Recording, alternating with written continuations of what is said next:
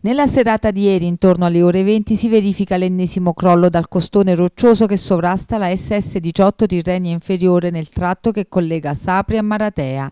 Non è trascorso molto tempo dall'ultimo crollo verificatosi in estate che aveva portato all'interdizione dell'arteria per due mesi ed ecco che tornano i disagi per i residenti della zona e per quanti frequentano le due località per motivi di lavoro o altro e che ora dovranno percorrere lunghi tratti per raggiungere la desiderata destinazione situazione. Nella serata di ieri arriva subito l'ordinanza dell'ANAS che decide per la chiusura al traffico in entrambi i sensi di marcia dell'arteria stradale per effetto del crollo di massi sulla carreggiata verificatasi al chilometro 219 più 900. Secondo quanto riportato nel documento dell'ANAS, il provvedimento di chiusura diventa un atto dovuto anche al fine di verificare la situazione del costone ed evitare i rischi per quanti percorrono l'arteria.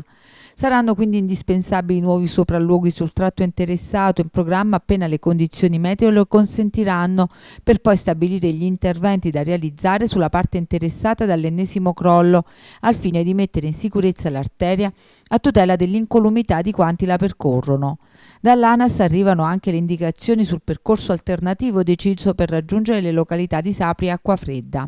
Un nuovo itinerario da calcolare che prevede l'attraversamento della fondovalle del Noce con un aumento del tempo consistente. Se prima per raggiungere acqua fredda da Sapri e coprire gli 8 km circa di distanza che separano le due località si impiegavano poco più di 10 minuti, fino alla sistemazione del tratto occorrerà percorrere un tragitto che prevede circa un'ora di cammino.